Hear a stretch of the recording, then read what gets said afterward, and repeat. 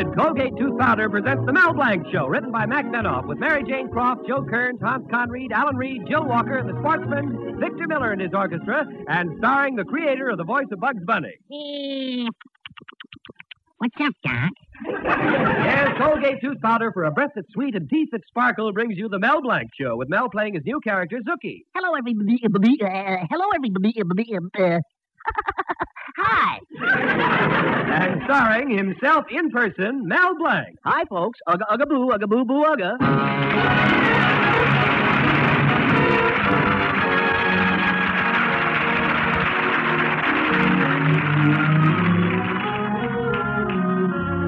Well, tonight is certainly an important one in the life of our hero, Mel Blanc, for it marks the date that Mel and his girlfriend, Betty Colby, have been engaged for four years.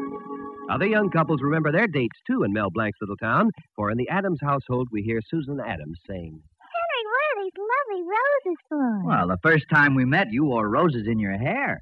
and in the Davis household we hear Shirley Davis saying, Roy, what is this beautiful orchid for?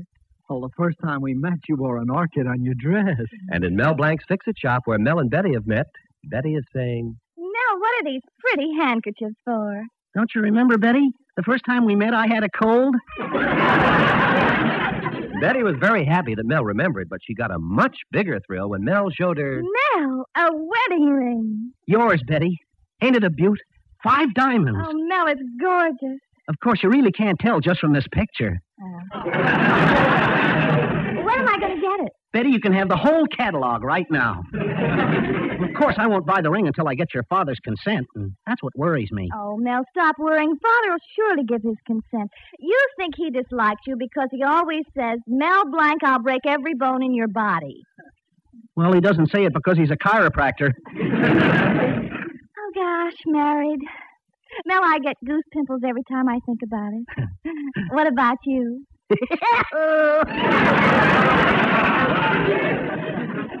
Betty, remember how we first met? Yes. You came over to my house to fix the antenna on the roof. Yeah. The birds were singing, but I didn't hear them.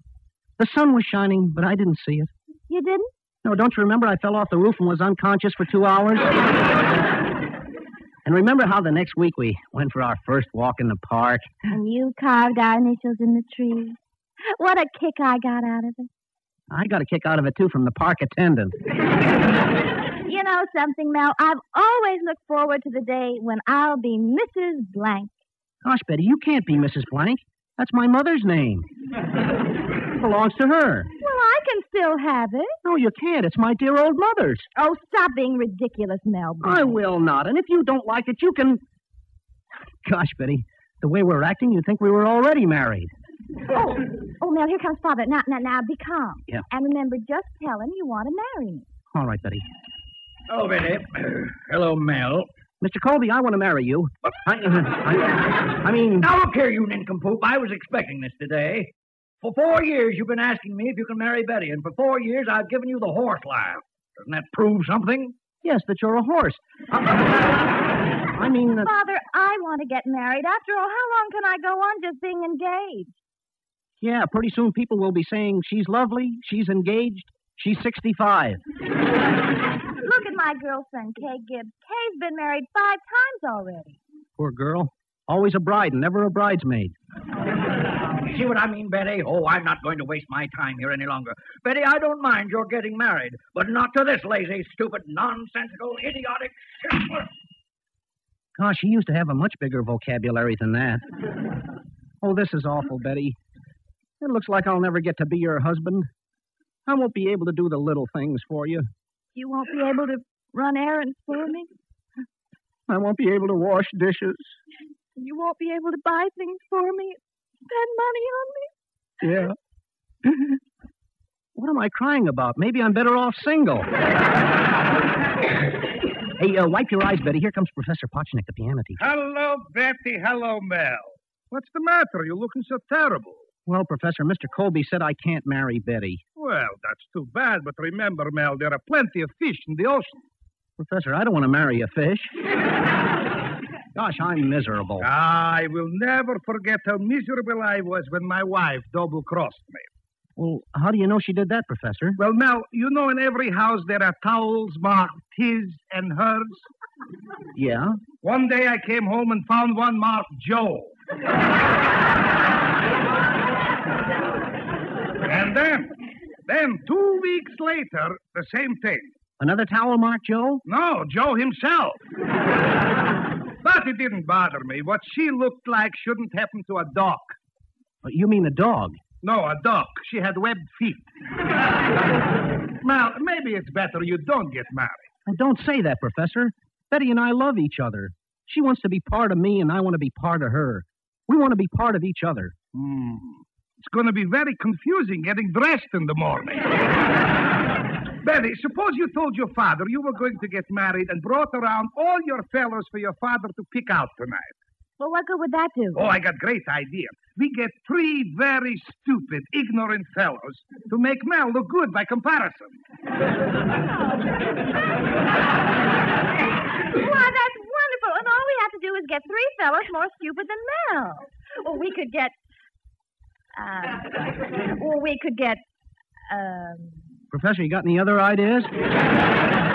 hey, wait a minute. We could get Zookie to be one of your boyfriends, Betty, and I myself could be the other two fellas. now that's wonderful. And it wouldn't be hard for you to act stupid. I mean, uh, you can disguise yourself. Oh. I'm going to run and tell Father. Okay, Betty, so long. Oh, Potchnick, that's a wonderful idea. How did you ever think of it? I don't know, Mel. I just took one luck look at you and it came to me like that.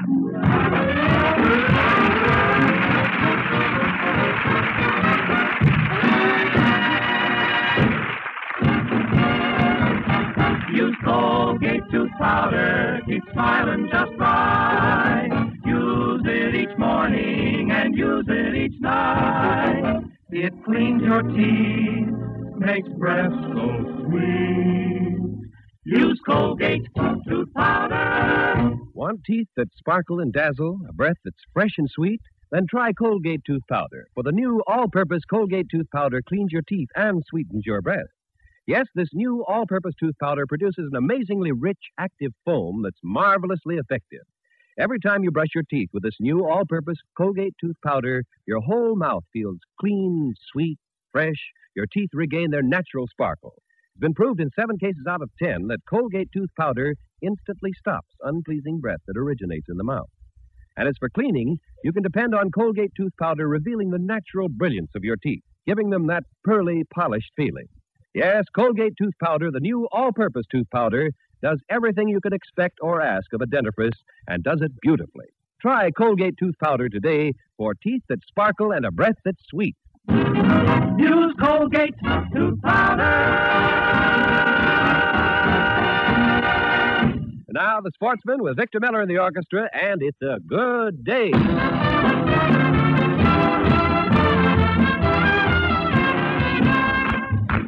Happy am I. Happy am I. Happy am I. Every time I feel the spirit, well, I know it's gonna be a good day. Yes, it's a good day for singing a song, and it's a good day for moving along. Yes, it's a good day. How could anything go wrong? A good day from morning till night. Hallelujah, brother. Happy am I. Yes, it's a good, good day for shining your shoes, and it's a good, good day for losing the blues. Everything to gain and nothing to lose. Cause it's a good day from morning till night. I said to the sun, Good morning, sun. Rise and shine today. You know you've gotta get it going if you're gonna make a showing. And you know you've got the right of way. It's a good day for paying your bills. And it's a whale of a day for curing your ills. So take a deep breath and throw away your guilt. Cause it's a good day from morning till night. Happy am I. Happy am I. Happy am every time I feel the spirit,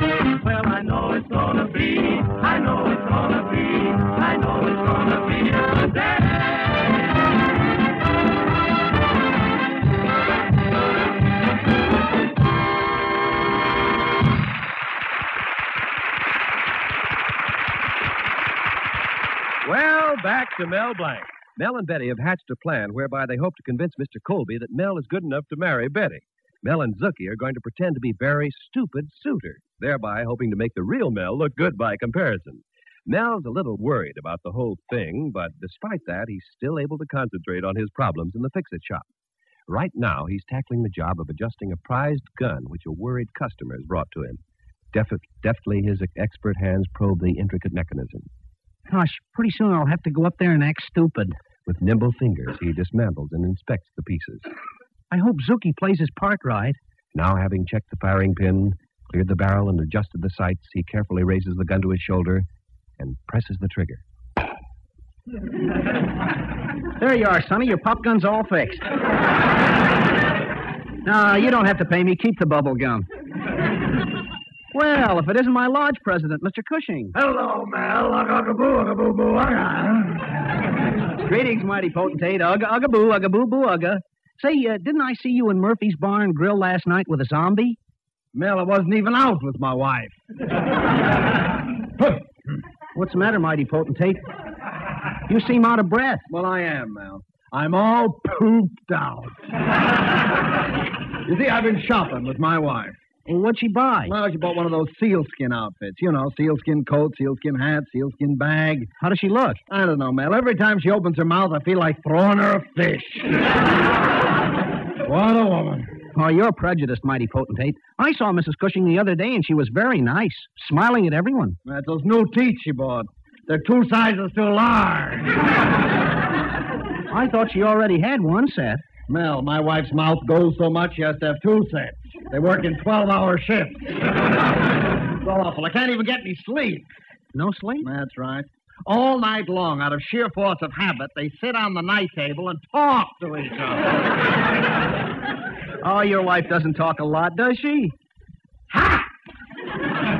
Mel, you've heard of people who carry a conversation? Well, my wife will ship it anywhere you want. Yada, yada, yada. It's like being married to the Railway Express. Rain, sleet, or snow, nothing stops her. Well, why don't you give her a hint? Uh, get a set of those monkeys. Hear no evil, see no evil, speak no evil. Oh, Mel, we've got him. You know what happens when my wife starts to talk? The monkeys all put their hands over their ears? No, they all get up and go home. I don't know why I'm standing here telling you all this. It's just that I got no one to talk to. Gosh, it's it's getting late. I, I gotta go. What's the matter, Mel? Well, you... well, you see, Betty and I want to get married. You want to get married? Mel, why ruin a beautiful friendship? Well, that's the point, mighty potentate. Betty's father won't even let us get hitched. Hitched. Mel, take my advice. Before marriage, it's hitched. After the marriage, it's hung. Oh, that wouldn't happen to my marriage. Betty's as sweet as sugar. All right, get married, then watch how sugar is rationed. well, good luck up at the Colby house, Mel. I gotta be going now. Where you going? Well, Mel, I can do one or two things. I can go to the movies and see It's a Wonderful Life, or I can go home and see the part they cut out of the picture. Hello, Mel. I gotta boo, I boo, boo, I- Goodbye, mighty potentate. Ugga, ugga, boo, ugga, boo, boo, ugga.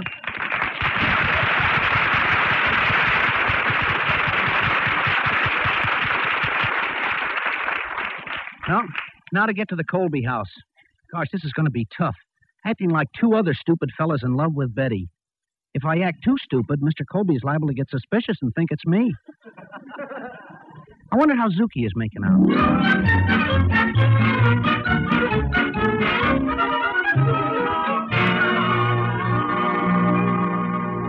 Well, Betty, it's 8.45. None of your suitors have arrived yet. Oh, they will, Father. And tonight you'll have to select one of them. I'm tired of being single.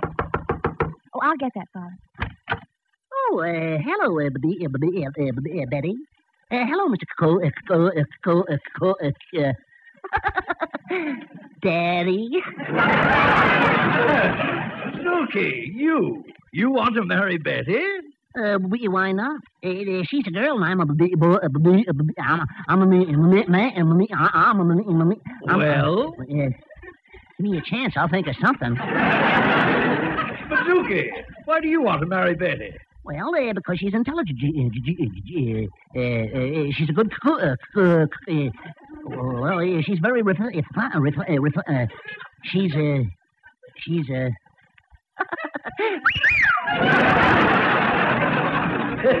Zookie, is that the only reason? Oh, oh no, uh, B- uh, Betty and I have big plans.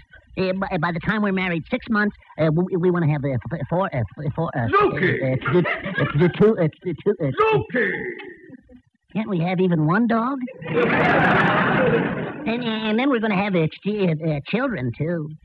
Gee, Betty, just think. If your father lets us get married, in a couple of years we'll have a, a little boy. Gee, I can hear him calling us now. Imani, imani, imani, imani.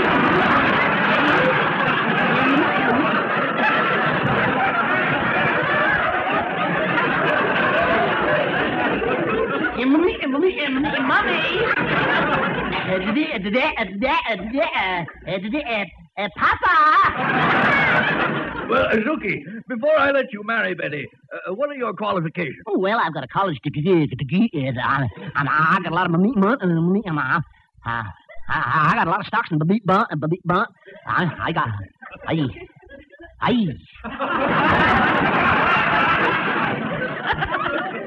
well, that lets me out. Goodbye. Well, Betty, that's quite a surprise to me, Zookie wanting to marry you. Father, you may have a lot of surprises tonight. Oh, it must be another young man. I'll get it. Howdy, Bub. Think the frost will affect the potatoes in Idaho this year? Say, what's that I smell? You ever hear of bluegrass perfume? Is that the bluegrass you're wearing? Nope. This is the stuff that makes the bluegrass grow.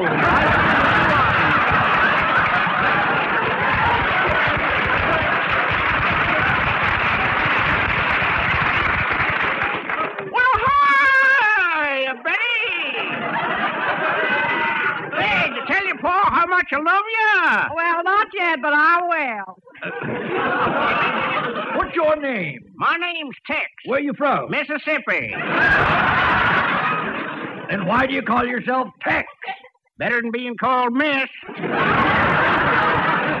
Gosh, Betty, you sure look pretty tonight. Just like the cover girl on this month's Corn Cob Chronicle. Miss Golden Bantam of 19 and 47. Well, thank you, Tex. Well, Paul, I mean, Father, can we get married? Uh, uh, just a second, uh, Tex. I have to find out more about you. What about your family? Well, I'm mighty glad you asked. I happen to have this picture in my pocket. There's my ma and pa and the kids. Sam, Jake, Luke, Tom, Fred, Zeke, Rose. Shall I make some tea? Yes, Bill, Pete, Dick, John, Lulabella, Judy. Cream or lemon? Both. Will, Ike, Bruce, Lloyd, Sandy, Robert, and not too sweet. Uh, Stuart, Shirley, Dottie, Stephen, Mitchell. that all? Nope, two lumps. Uh, Henry, Donald, Sherwood, Al, and over here in the corner, their adopted son, Max. Seventeen brothers and fifteen sisters. How come so many kids in the family? Well, it seems the first two was boys, and ever since then, Ma and Pa been trying to even out the score. well, so long, Betty. Let me know if your Pa said yes, huh?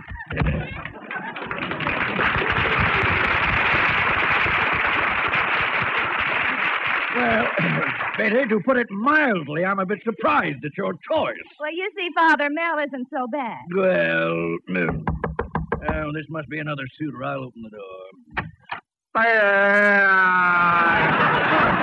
Does Betty Colby live here? Oh, hello, Betty. Just a second. I'm not Betty. Oh, you're my glad. Mr. Colby, before I accept your daughter in marriage, I, I, I want to know just what you have to offer. What I have to offer? Come on now, that was my question. After all, you're not talking to a moron, you know. There's only one like me in the entire country. Harvard will verify that. Betty, do you want to marry this person? Yes, duh, if you'll have me. Young man, what do you do for a living? Oh, people are always offering me jobs. Yesterday I got a job emptying garbage pails, but I had to quit. Why? Well, in two hours my pockets were filled to the brim. last week I worked in a carnival. I got paid double. What did you do? But they was using my head to dodge baseballs. Well, why should they pay you double? They used the other side for a dart game. Now, just a second. Your stupidity seemed a little familiar. I gotta go now. So long, Betty. Betty, I'm completely flabbergasted by your taste in men. Frankly, I don't know who to choose for you to marry now. Hello, Betty. Hello, Mr. Colby, sir. Nice to see you, sir. You're looking fine, sir. Have a sir cigar. I mean, have a cigar, sir. Ah, Mel, my boy. Earlier today, you asked me whether you could marry Betty. Well, I'm happy to say. Mr. Colby, not really. Yes, son. Betty, you can get married. Any one of the other three.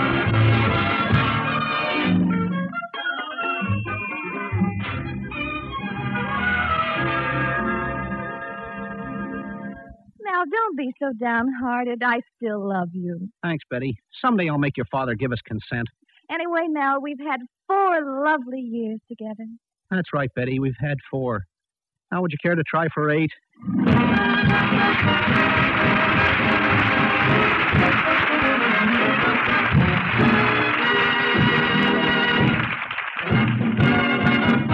Use Colgate tooth powder, keep smiling just right. Use it each morning and use it each night. It cleans your teeth, makes breath so sweet. Use Colgate tooth powder. Colgate tooth powder, the new all-purpose tooth powder, does everything you can ask of a dentifrice. It makes an amazing foam, lively, fast-working, penetrating. As soon as this new all-purpose Colgate tooth powder gets foaming in your mouth, things happen. It cleans your breath as it cleans your teeth. In seven cases out of ten, it's actually been proved that Colgate tooth powder instantly stops unpleasing breath that originates in the mouth. And when it comes to cleaning your teeth, Colgate tooth powder gives thrilling results. For it cleans your teeth so beautifully that it brings out their full natural brilliance. That's why Colgate tooth powder is called the all-purpose dentifrice. So for teeth that sparkle and a breath that's sweet, try Colgate tooth powder. Use Colgate tooth powder.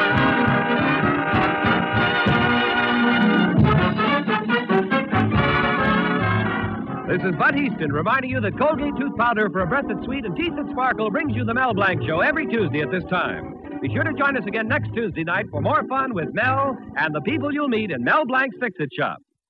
Say hello to Halo Shampoo for naturally bright and beautiful hair. Remember, even finest soaps and soap shampoos hide the natural luster of your hair with dulling soap film. But Halo Shampoo contains no soap, therefore leaves no dulling soap film. Even in hardest water, Halo makes oceans of rich, fragrant lather, quickly banishes loose dandruff and dirt.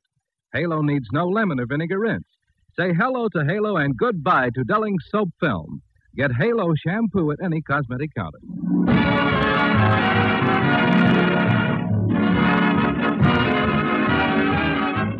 There is a worldwide shortage of fats and oils, so won't you please save every drop of fat that you can? Put it in a tin and turn it in. Your butcher will gladly pay you a high price for it.